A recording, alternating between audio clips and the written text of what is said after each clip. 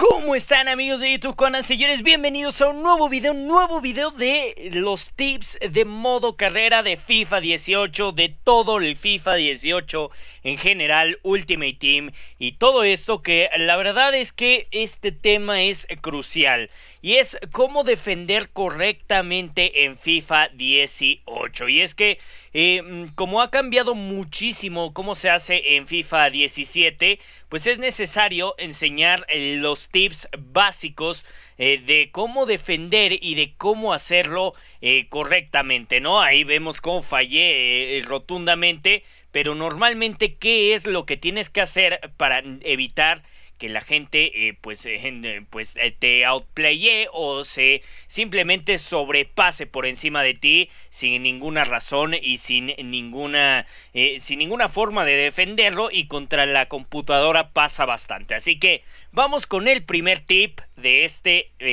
tutorial se podrá decir de cómo defender en FIFA 18 pues bueno el primer tip es usar el L2 o LT en Xbox One L2 en PlayStation para defender. Ahí vemos, eh, observamos cómo nuestro jugador cambia y es mucho más fácil eh, de eh, medir su ritmo y de ver hacia dónde se va a mover para detener cualquier avance que tenga este jugador, ¿no? Ahí vemos cómo, pues, Oribe Peralta no puede pasar sobre Enzo Rocco, pero hay que ser bastante rápidos. Podemos utilizar el sprint para movernos más rápidamente hacia la dirección en la que se está moviendo y con eso eh, pues intuir hacia dónde se va a mover. Entonces el, lo que es LT y L2 es fundamental en el FIFA 18 ya que eh, el ritmo cambia mucho más. O sea, si nosotros aceleramos Oribe Peralta se va a tardar mucho más en darse la vuelta y eso va a hacer que nosotros veamos hacia dónde va su recorrido, ¿no? Es mucho más fácil y normalmente no sueles eh, cometer ninguna falta con esta posesión. Es muy raro que un árbitro te marque falta, pero con esto lo puedes hacer. Así que este es el primer tip que te doy, utilizar L2 y LT en la defensa. Después vamos al segundo tip y es utilizar B y círculo. Este es como uno de los más importantes porque ya no es como en los anteriores FIFAs donde tú nada más ponías B y el tackle, o sea, como la barrida eh, de pie. Eh, no sé cómo se diga, ahora, ahora sí que meter la pierna, eh, nada más funcionaba automáticamente. Ahora, entre más, ahora sí que potencia le pongas a tu, a tu pierna, más lejos va a llegar. Esto puede ser bueno y puede ser malo. Yo te recomiendo que cada vez que esté más cerca tu defensor, nada más, eh, tu atacante, perdón, eh, y tú como defensor estés más cerca de él, pues lo único que hagas sea poner B. Es, es, es, un poco difícil al principio porque si no pasa esto, ¿no? Eh, de que no mires bien los tiempos y al final acabas eh, regalándole una oportunidad al rival, pero eh, es cuestión de práctica, ¿no? Puedes ir obteniendo más y más práctica y además utilizar la B te puede resolver cualquier apuro. Mm, esto lo voy a, a, juntar con el que vimos de LT, ¿no? Una vez que nosotros tenemos LT y B al mismo tiempo, ¡pum! ¿No? Eh, o L2 y círculo al mismo tiempo, podemos detener a cualquier, defensor, eh, a cualquier atacante, defensor, mediocampista, portero que venga, simplemente con aguantar y ver qué tanto se va a mover, ¿no? Ahí vemos cómo con, eh, es bastante funcional y es muy sencillo, ¿no? No cometemos ninguna falta y nada más es cuestión de eh, medir qué tanto vaya el balón. Esto lo vas a ir obteniendo con cuestión de práctica, ¿no? Y es lo que decían. Eh, normalmente dos líneas es para que eh, llegues eh, más cerca, ¿no? Para un enfrentamiento más cercano. Aquí lo vamos a ver. Justamente estoy haciéndolo mucho más cerca y estoy ganando el balón. Pero si va un poquito más lejos, pues simplemente ponemos todo el, toda la potencia y lo vamos a sacar volando. Como vimos ahí, Oribe Peralta no puede con Enzo Rocco. Y así va a ser mucho más sencillo defender eh, a, tus, eh, a tus rivales, ¿no? Presionando LT o L2 más círculo o B, como es eh, dependiendo de cuál utilicen, les va a servir muchísimo y no dejemos de tomar en cuenta que utilizar B también nos va a servir para hacerlo mucho más rápido, ¿no? Para tener seguridad en que Oribe Peralta no nos rebase. Ahora tenemos el tercer tip y es la A, la letra A. ¿Qué es lo que hace la letra A o la letra X en Xbox One y en PlayStation respectivamente? Es que la máquina te va a hacer el primer movimiento, sí. ¿Qué es lo que pasa? Tú presionas A y va a contener al rival, va a ver hacia dónde es su recorrido y va a esperar, ¿no?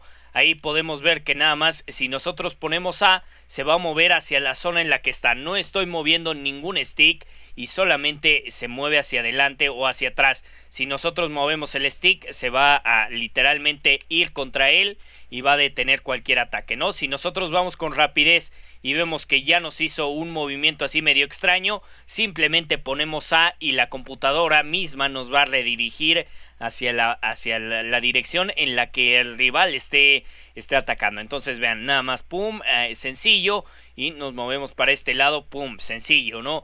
Eh, simplemente es mantener el sprint y mantener un poquito tu stick, ¿no? Medir hacia dónde va y nada más presionar A y eso te va a hacer que contengas mucho mejor al rival y que nada más le pongas al final y miras y no te venzas tan rápido, ¿no? Eh, porque qué es lo que pasa aquí eh, y vimos con el B es que si nosotros eh, damos en un tiempo equivocado la B, vean, pum, nos quedamos parados, mientras que si con A no importa qué tan lejos estemos, él va a seguir la trayectoria del balón y al final va a llegar un punto en el que nos lo encontraremos de frente. Entonces, esa es la forma en la que debemos de buscar la defensa, ¿no? Eh, presionar A y es más, podemos presionar LT para que ningún jugador pase, ¿no? Ahí eh, se, se, escapó Oribe Peralta, pero normalmente si nosotros ponemos LT y A al mismo tiempo, podemos hacer que pierda con facilidad el balón y nosotros vamos a obtener una ventaja directa dentro de la defensa, ¿no? Ahí simplemente es manejar el stick y saber manejarlo, ¿no? Porque si nosotros nos hacemos de lado, podemos perder eh, un poquito la dirección y vean, nos abrimos un poquito y ya dejamos que mete el disparo. Entonces, simplemente es ver hacia dónde va, presionar a A y simplemente va a quitar el balón sencillo. Sencillo, así como lo vemos, eh, si nosotros ponemos en la dirección contraria a la que va, pues no va a surtir efecto. Entonces tenemos que buscar el choque y normalmente no nos van a marcar ninguna falta ya que vamos directamente al balón. Si ahí tenemos un poquito de destiempo, pues se nos va a escapar Oribe Peralta y nos va a encajar algún gol. Así que este es el tercer tip para defender correctamente en FIFA 18. Ahora vamos al cuarto tip y es eh, las barridas. Aquí, ¿qué recomendamos en las barridas? Y es eh, ser exactos, ¿no? Y no utilizarnos como nuestro primer recurso. Vimos tres, tres tips antes que nos pueden funcionar bastante bien. Pero ¿qué es lo que pasa, no? Oribe Peralta nos gana, nos barremos y ya vamos en destiempo, entonces no lo podemos alcanzar. No es una de las mejores formas porque eh, normalmente la computadora y la persona va a intuir perfectamente que nos vamos a barrer. Entonces, si nosotros utilizamos la barrida, podemos causar o un penal o una falta. Aquí vemos que es bastante sencillo, pero porque eh, Oribe Peralta lleva unos eh, recorridos pues diseñados especialmente, ¿no? Pero vamos a poner que va para atrás, nosotros ya vamos en destiempo, llegamos a la línea de fondo y nos barremos y ya no nos da tiempo de eh, quitarle el balón. Tenemos que ser plenamente exactos y buscar eh, que el balón, eh, vean ahí esa barrida a destiempo y al final se escapa o si la hacemos muy, muy a destiempo, me refiero más adelante, pues puede costarnos un penal, ¿no? Ahí lo hicimos antes y no nos funcionó pero tenemos que ser exactos. Entonces, en un juego no te puedes dar el lujo de buscar exactitud en la defensa porque muy cerca del área puedes cometer un penal. Entonces, em, es mucho mejor utilizar eh, las, los tips anteriores y este como una medida de emergencia en caso de que llegue al área y de que no tengamos otra posibilidad más que barrernos, pues lo que vamos a hacer es, vean ahí, pum, perdimos la oportunidad y en el juego normalmente lo que va a pasar es lo vamos a derribar si no entramos a tiempo. Entonces tenemos que ser plenamente exactos Y si les gusta mucho usar las, las barridas, pues practicar en qué tiempo y cómo lo van a utilizar, hacia dónde va el balón. Pero como les digo, normalmente la computadora y las personas reales intuyen que te vas a barrer, entonces se mueven y ah, hacen que cometas un, penal. Ahí lo vimos claramente. Oribe Peralta llevaba una dirección eh, un poco eh, intuida, nada más se movió, yo me barrí y al final le acabé haciendo un penal. Así que este va a ser como nuestro último, nuestro último recurso dentro de la defensa. Y para el último tip vamos a tener la, eh, pues un poquito la doble presión que normalmente podemos ejercer, que tampoco suele ser lo más eficaz. ¿Qué es lo que pasa aquí? Tenemos que un jugador puede marcar directamente presionando RB o R1 y puede ir directamente a hacer una presión dividida mientras tú esperas a que el movimiento lo haga. Vean, vamos a poner ahí que vaya RB y nuestro, y nuestro defensor espera completamente el, eh, a Oribe Peralta, ¿no? Nosotros tenemos que mantener presionado RB para que éste haga una presión y tenga que regresar mientras nosotros estamos abiertos. Suelen no hacerlo tan efectivo eh, ya que eh, normalmente ha sufrido por algunos parches pero eh, RB solía ser una herramienta primordial en la defensa y aquí déjenme decirles en FIFA 18 no lo es tanto, ¿no? Porque vemos que no es tan rápido ya y suelen eh, los delanteros rivales llevarte y ganarte con experiencia eh, así súper fácil, así que pues no es muy bueno utilizar la presión, no es muy bueno intentarlo, pero puedes utilizarlo como un recurso mientras que eh, con un jugador te mantienes eh, bien posicionado y con el otro, vean aquí, nosotros tenemos a que nuestro RB pues hizo todo el trabajo, ¿no? Eh, pero puede haber situaciones en las que tenemos que utilizar a los dos defensores de manera correcta, ¿no? también lo que aquí podemos utilizar es eh, el stick derecho, ¿no? El stick derecho para cambiar de jugador y cambiamos la dirección en la que nos movemos. ¿Qué es lo que pasa aquí? De repente vemos que el primero está mucho mejor posicionado, el segundo está mejor, se quita el primero, se quita el tercero y casi nos mete el, gol. Pero eso es utilizar un poquito el double man pressure, eh, que le llaman los dos hombres a presión, y cambiar con los sticks para ver eh, qué, qué, qué movimiento utiliza nosotros podemos utilizar también combinarlo con A y eh, ejercer dos hombres que le hagan presión. Aquí es lo que vemos como la computadora reconoce que estamos haciendo una presión y simplemente se va para atrás, ¿no? Si nosotros vamos aquí, eh, nosotros quitamos el balón, sencillo, pero tenemos que tener exactitud en la, en la forma de quitar el balón, ¿no? Porque como pasó en el anterior, si nosotros hacemos una presión y de repente cambiamos de jugador, el, eh, el compañero que estaba pues va a tener algunos problemas porque ya no te vas a poder mover de la manera correcta, ¿no? Ahí, vean, ¡pum!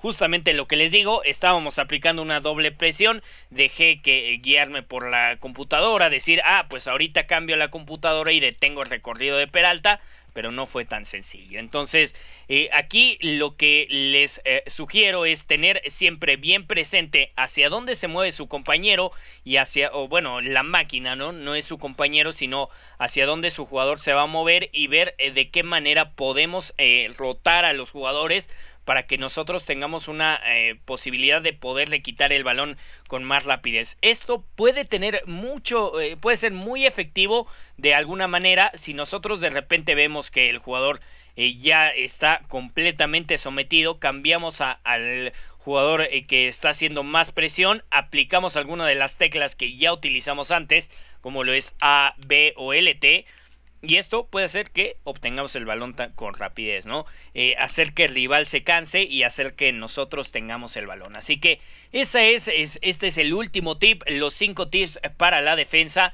Eh, aprender estos comandos que les dije, LT, L1, eh, dependiendo si estás en play. De todos modos, todos estarán aquí arriba y todos los podrás ver eh, en este video siempre que estés suscrito y siempre que estés apoyando. Pues aquí vas a estar encontrando videos de tutoriales de FIFA 18, ¿no? Este fue un pequeño tutorial de cómo defender en FIFA 18 que es bastante complicado. no es tan fácil pero con estos tips créeme que te va a funcionar eh, porque yo defendía muy mal y poco a poco he ido aprendiendo técnicas de defensa eh, y poco a poco vas practicando mucho más y te va sirviendo mucho más dentro del juego. Así que pues sin más, por el momento me despido. Eh, espero que les haya gustado la guía, espero que te haya servido, aunque sea algunos tips básicos, los cinco tips para defender mejor, que es básico, que es aprender la forma de los botones y con eso te puedes hacer un crack en la defensa y no volver a sufrir en este tema. Así que nos estamos viendo amigos, ya sabes que si te gustó dale like, suscríbete y compártelo en tus redes sociales. Lo que ayuda al canal y lo que me motiva a seguir es esto. Eh, denle a like si te encantó, dale a la campanita si te suscribiste recientemente para que no te pierdas ningún video. Adiós.